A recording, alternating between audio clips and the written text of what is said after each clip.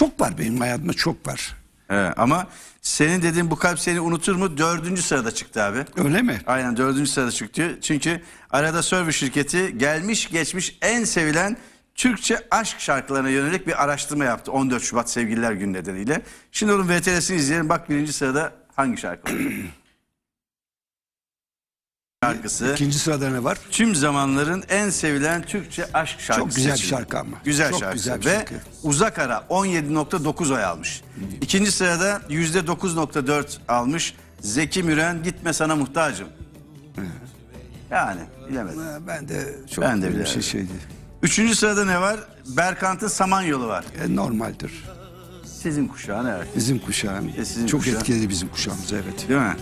Üçüncü sırada, ya dördüncü sırada pardon, e, senin e, sevdiğin benim de bence birinci olabilirdi. Bu kalp seni unutur mu? Evet. Fikret Müthiş, Kızılak müthiş bir şarkı. 7.7 almış. Sonra Tarkan'ın Beni Çok Sevi geliyor. O da güzel. Sonra Nilüfer Ta Uzak Yollardan şarkısı var. Sezen Aksu Haydi Gel Benimle Ol. Neşe Karaböcek Damarımda Kanımsın. İrem Derici Kalbimin Tek Sahibine. Bu da mesela son yıllarda hep böyle düğünlerde müğünlerde Evet, çok evet, çalınan evet, şarkı. şarkı. evet. Sonra yine en son sırada Kayağan'ın Seninle Her Şeye Varım Ben şarkısı var. Kayağan iki şarkısını e, sokmuş. Ben. Kayağan'ın Gönül Defteri'ni de severim. O da çok Değil mi? güzel şarkı. Çok Evet. çok güzel.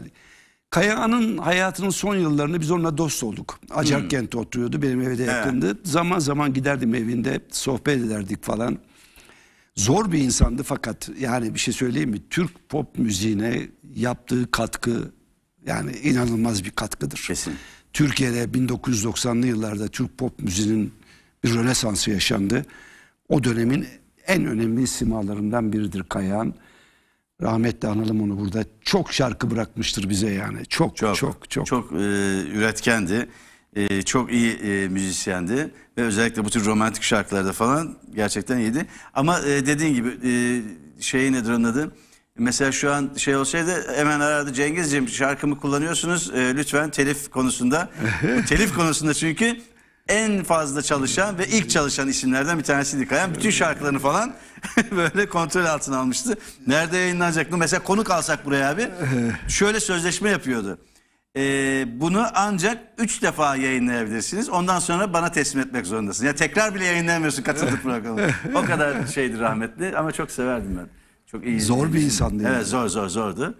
Ama e, hem iyi müzisyendi hem de iyi bir insandı. Son yıllarda Spotify'a koymadı şarkılarını mesela. Bak işte Ölünceye tabii. kadar koymadı. Öldükten sonra aile karar verdi Evet. konması. Nilüfer'le son yıllarında tabii uzun yıllar küs kalmıştı. Sonra barıştılar evet, falan. evet, Ee, bak işte son e, Ama büyük aşkım ha unuttuk asıl büyük aşkım var ya. Şarkı, Büyük aşkım? Oo, Evet. Büyük aşkım.